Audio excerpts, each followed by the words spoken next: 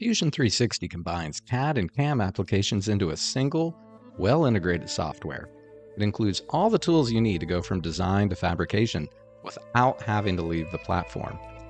The software is very powerful, but if you want to keep things simple, you can. As an example, it only takes a few minutes to open a solid model, in this case, a step file. Go to the Manufacturer workspace. Create a few toolpaths then simulate the toolpaths, and finally post-process CNC code.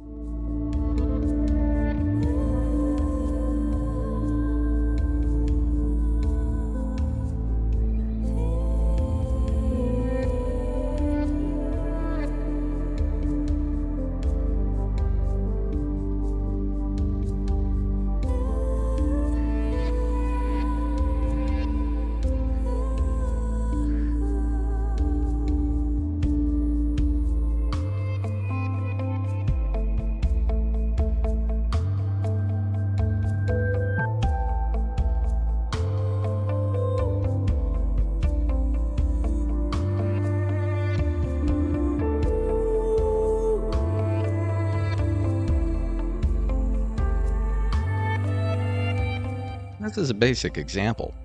For many CNC programmers, this level of functionality is all they need.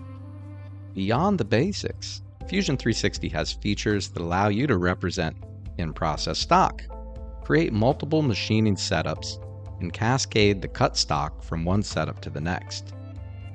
There are two ways to use this feature. One, you can move the setups around the part. Or two, you can move the parts around the setup. In this video, I'm going to provide an overview of the first method, as I believe this will be most used.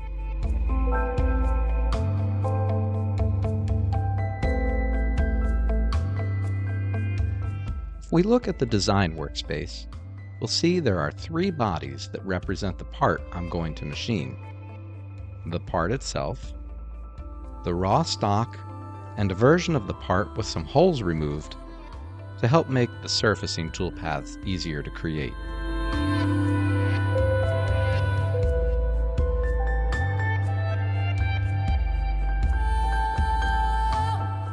There are also four different vices oriented around the bodies, representing the work holding for each of the four machining setups. OP1, OP2, OP3, and OP4.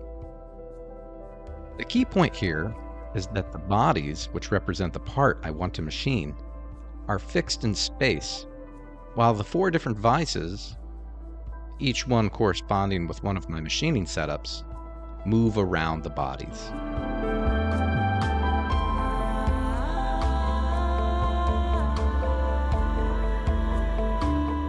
If we go to the manufacturing workspace, the first thing I'm going to do is sync view visibility, and view cube with active setup. As I activate the different machining setups, the view, visibility of model and fixture bodies, as well as the view cube will synchronize with the active setup. Next, I'm going to display in-process stock and make it transparent.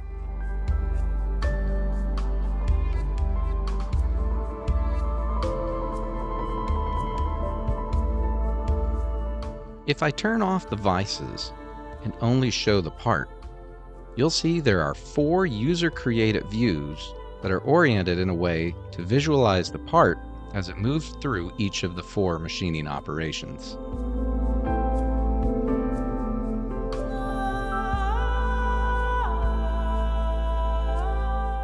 Next, you'll see there are four different setups.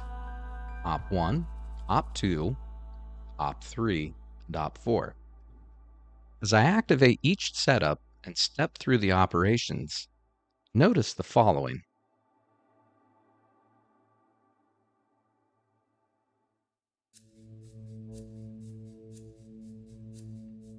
The view synchronizes with the setup. If I right click on each of the setups, you can see I've associated a name view with each of the setups. These are the views I've created to make it easier to see the machining in each setup.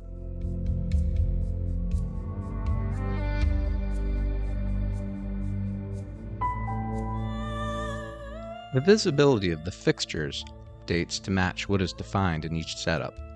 If I make all the vices visible and then edit each of the four setups, you can see the vice that is selected for each one.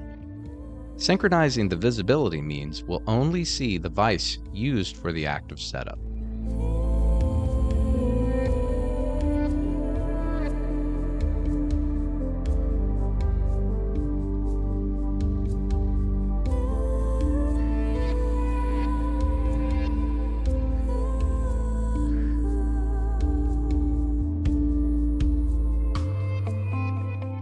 The view cube updates in a way so that the side of the cube labeled top corresponds with the z-axis orientation of each setup.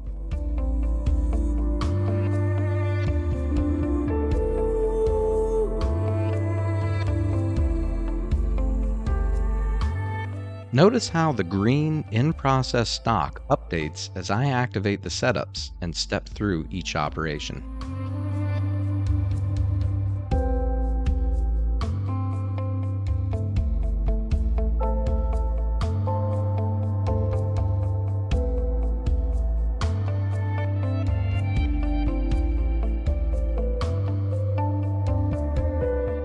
Next point is very important. Each setup uses the exact same body for the model.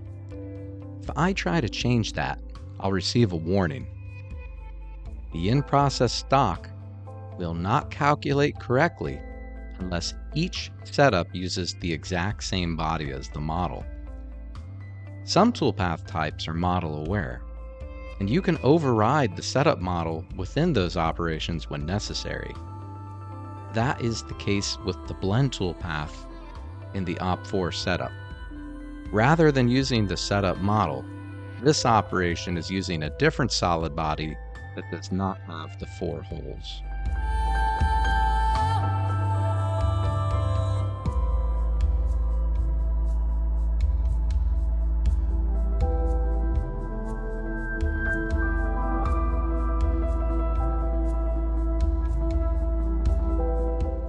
The very first setup uses from solid mode and the raw stock body to define the stock.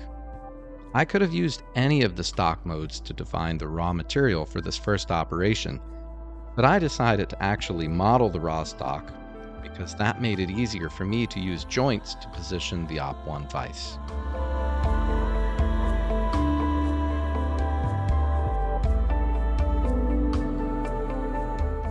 The remaining setups use a stock mode called from preceding setup. This causes the active setup to begin with stock in the size and shape based on the toolpaths used in the preceding setup. Also notice the continue rest machining checkbox is checked. This will allow intelligent roughing toolpaths to only cut material that wasn't removed during previous setups, saving time.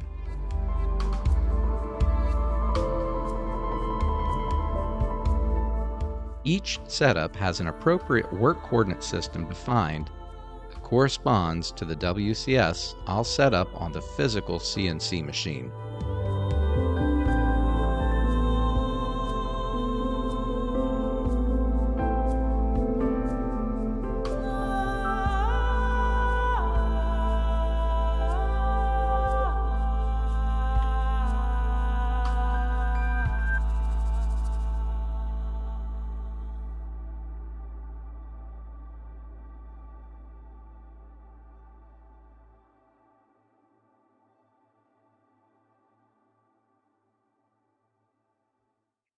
What I like about this method and this functionality.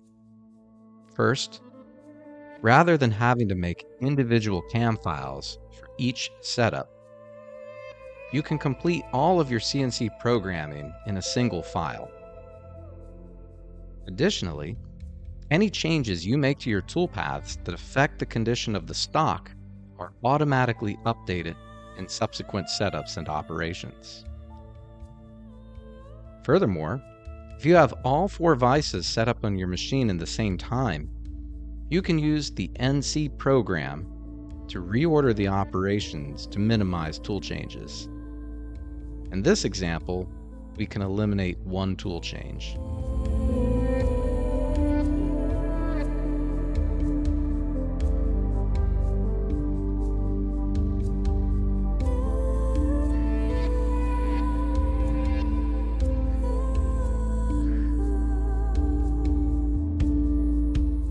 If you enjoyed this video, please be sure to like and subscribe. Thanks for watching. I'll see you next time.